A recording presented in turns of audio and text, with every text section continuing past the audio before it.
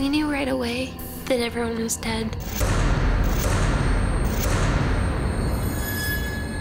Becky was found in a wheelbarrow and set on fire. That's hate. That's when I knew it was him because he had threatened to kill her.